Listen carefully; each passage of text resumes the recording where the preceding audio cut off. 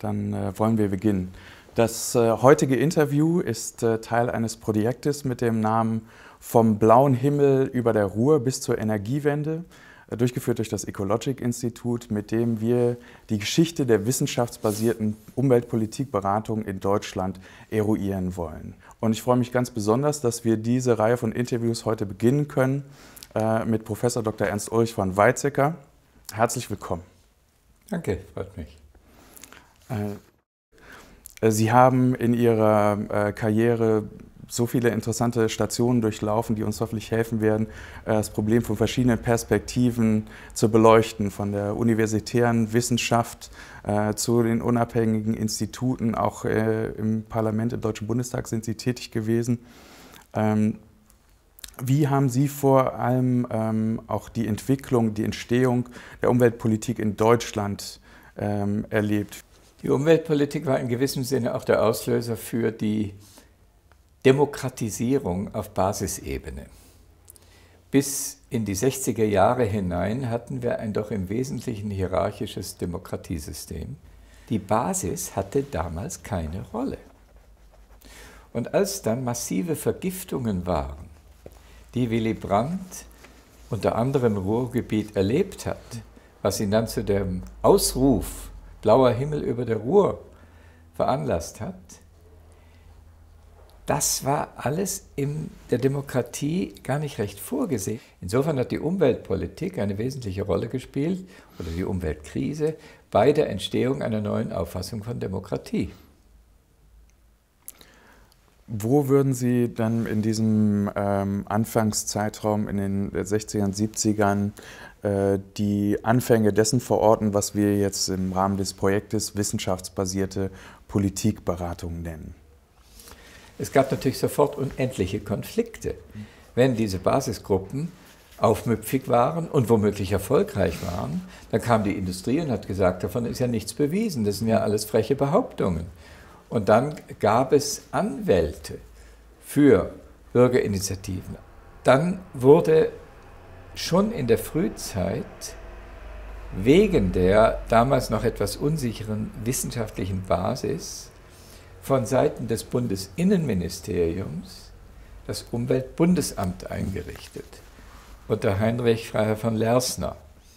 Der hat sehr stark dafür gesorgt, dass manche von diesen aufmüpfigen Jungen in sein Amt kamen und im staatlichen Dienst Umweltpolitikanalyse gemacht haben. Und dann hat er gemerkt, manches davon darf gar nicht der Staat machen, das sollen die Betroffenen machen. Und dann kam das Öko-Institut auf den Plan, was äh, gesagt hat, ja, also wir sind die Vertreter derer, die eigentlich äh, sonst keine Stimme haben.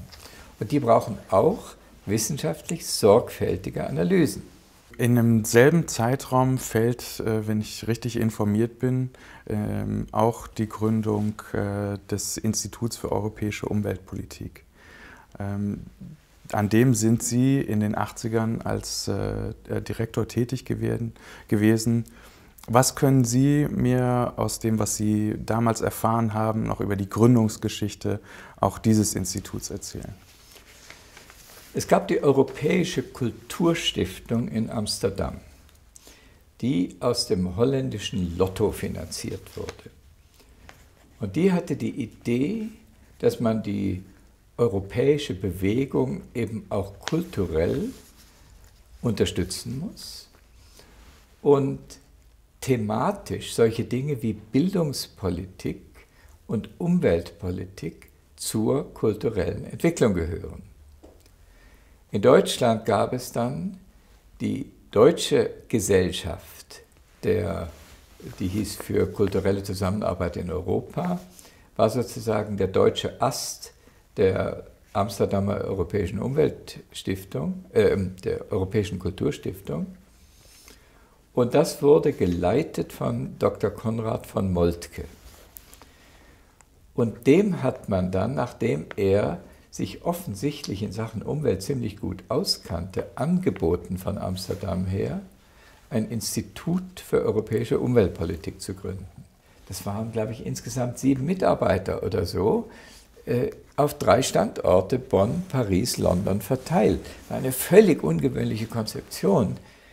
Und dann gab es natürlich die Europäische Kommission, die haben die Aufgabe gehabt, die damals im Entstehen begriffenen europäischen Richtlinien auf ihre Umsetzungsqualität in den verschiedenen Nationalstaaten der Europäischen Union äh, zu untersuchen.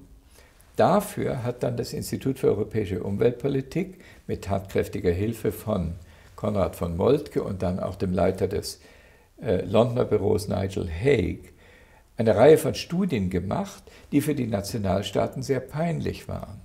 Und die DG selber hätte auch die Kapazitäten, um ähnliche Untersuchungen zu machen, selber gar nicht gehabt. Die hätten das kaum gehabt. Wie sind Sie denn selber dann an das äh, Institut gekommen? Also zunächst mal das Thema Umwelt hatte mich schon vorher interessiert. Ich habe in den äh, frühen 1970er Jahren einen Lehrstuhl für interdisziplinäre Biologie an der Universität Essen gehabt und habe dort unter anderem einen Graduierten oder einen äh, Aufbaustudiengang Umwelt eingerichtet, zusammen mit ein paar anderen Leuten. Und war also mit dem Thema vertraut. Dann war ich Universitätspräsident in Kassel, da haben wir auch viele äh, ökologische Sachen gemacht, die vorher nicht da waren.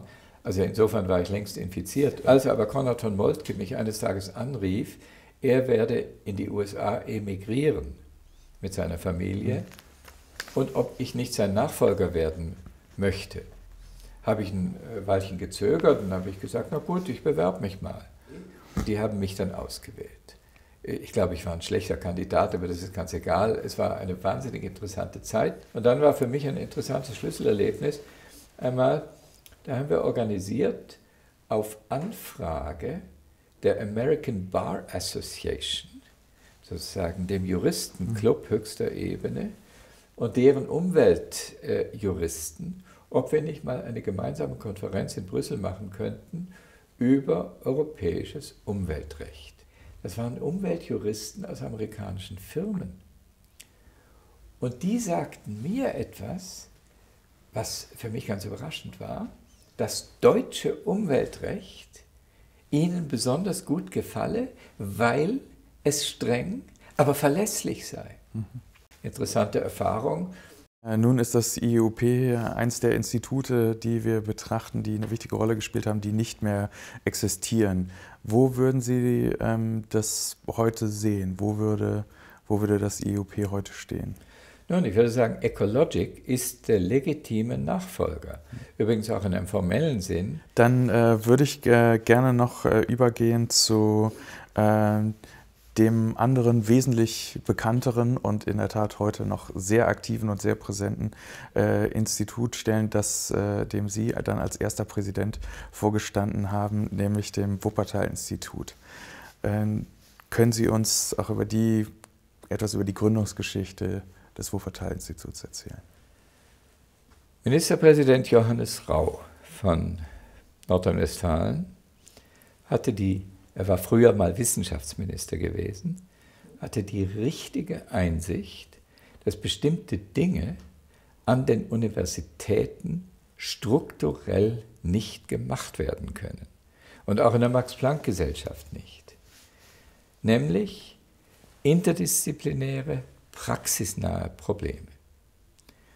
Und dann hatte er die Idee, zusammen mit seinem Abteilungsleiter Hartmut Krebs, dass man das Wissenschaftszentrum Nordrhein-Westfalen gründen solle, mit einem kulturwissenschaftlichen Institut und ein Institut für Arbeit und Technik, wie das zusammenhängt, und ein Institut für Klima, Umwelt und Energie. Und mich hat Hartmut Krebs gebeten, in eine Vorbereitungsgruppe zu kommen, die das Konzept für ein solches äh, Institut aufbaut. Und das habe ich gemacht, ungefähr zu der Zeit, als ich ein Buch geschrieben hatte, das hieß Erdpolitik.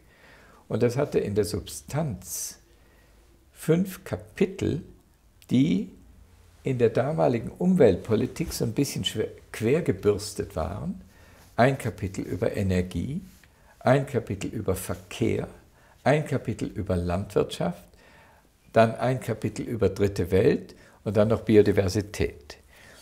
Bis dahin war die Umweltpolitik Luft, Wasser, Boden und dann vielleicht noch Naturschutz. Und da haben wir in diese Richtung äh, das Institut konzipiert. Das war großartig. Stellen Sie sich mal vor, 40 Planstellen kriegt man geschenkt vom Staat. Das ist unvorstellbar. Mhm. Naja, und da haben wir mit der entsprechenden Trutzpe und Frechheit das aufgebaut. Das Wuppertal-Institut hat äh, explosionsartig äh, die umweltpolitische Landschaft verändert ähm, mit diesen neuen Themen. Ich weiß das äh, sehr zu schätzen, dass Sie uns Ihre Zeit geschenkt haben. Jo, bitte. Und ich hoffe sehr, dass wir die Gelegenheit haben werden, in der Zukunft das noch einmal zu wiederholen.